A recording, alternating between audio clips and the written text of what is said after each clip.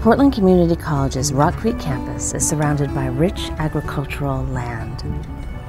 The campus itself includes a working garden that uses holistic techniques for growing food. The garden grows plants, and the produce from these plants feed people. What people leave as food scraps are fed to worms who convert the scraps into compost. The compost is then returned to the garden beds and feeds the plants. Plants, people, and worms. These are the three components of the Rock Creek Loop, and they are connected in a cycle of nutrients and energy. At Rock Creek, vegetables, fruit, and flowers are grown in the greenhouses, the hoop house, and the learning garden.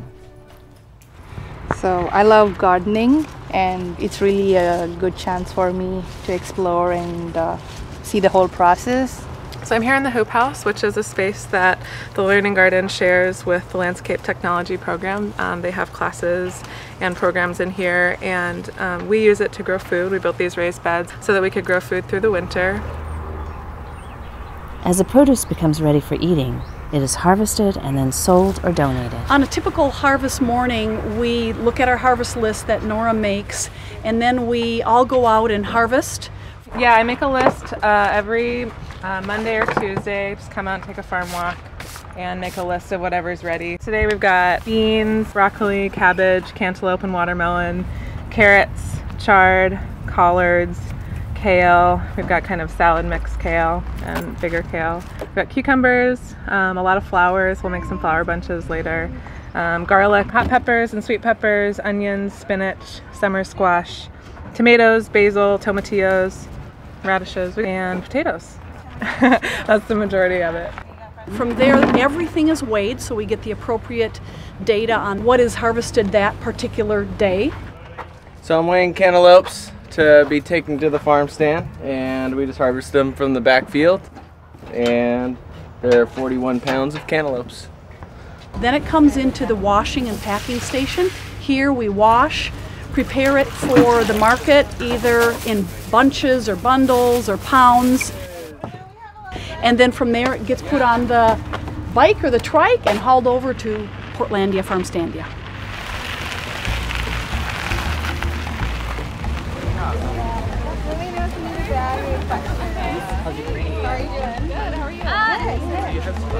We have an on-campus farm stand um, every Tuesday. It's called Portlandia Farm Standia. The name was chosen in a popular vote.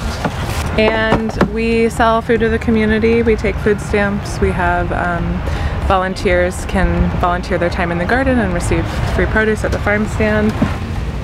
Thank you.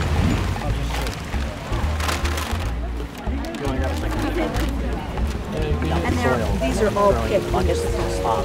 Oh, see, that's going to be ready to eat today.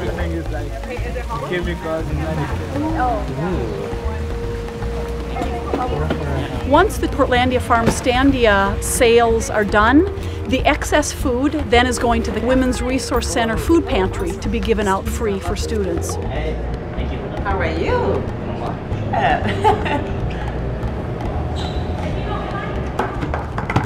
All right, so what do we have in here? And we've got lettuce and other pre-consumer food waste from the cafeteria. Uh, these are food scraps that they can't serve to customers, uh, but we can compost. Plant and food scraps are also collected from the Learning Garden and other sites on campus.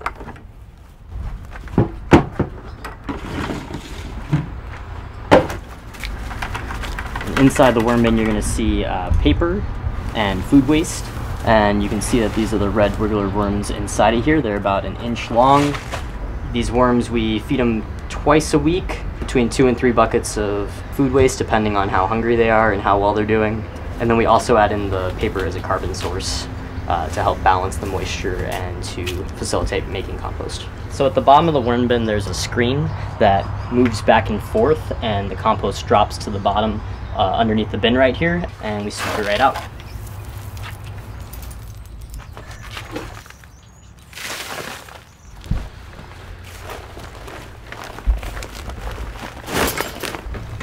The finished compost is then returned to the garden beds that need to be replanted. So the purpose of compost is to bring in fresh organic matter, bulking up the soil in the bed, be it raised or in ground, and also adding fresh nutrients. We add the compost as a top amendment, broad fork it in, aerate the soil, and then add either direct seeds or transplants and water them in.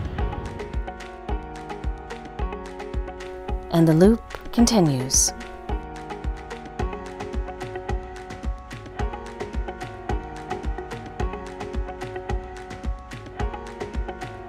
This year we grew three different types of basil.